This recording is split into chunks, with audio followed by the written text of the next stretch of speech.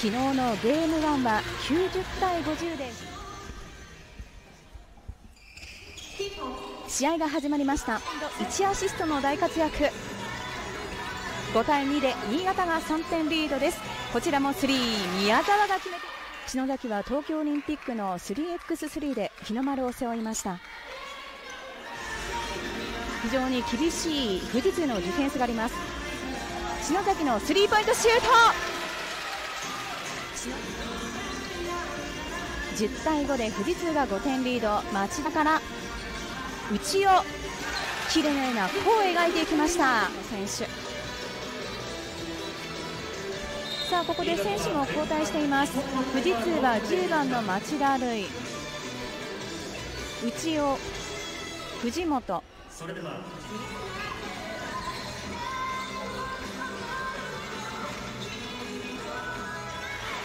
ただすぐさまお返し富士通まず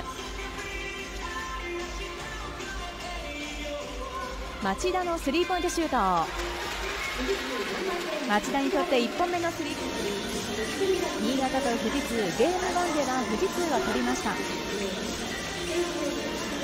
ーム1では新潟が先制点を取りましたが今日は富士通の先制点篠崎のスリーポイントシュートからゲームは動きましたさらに早くもこのスリーポイントシュートの応酬内尾も決めていきます。これまで43.8%という成功率。またリバウンド見ますと富士通は20新潟メンバーは篠崎。今日は2本ここまでで決めています。スリーポイントシュート。町田のジャンプシュート。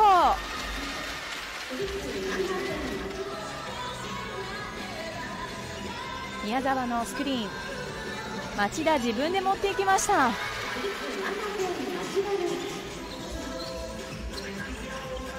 カットインしてきた篠崎。外からの内尾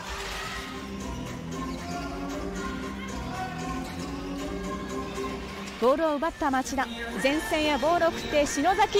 難しい体勢。これを決めて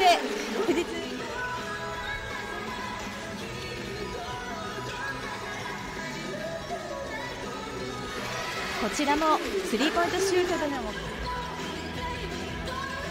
町田のドライブ宮澤オープン。しっかりと決めてきました。宮澤リバウンドは富士通、篠崎、町田。前に2人走っている。宮澤自分で。バンクショットを決めていきました。75位ということになります。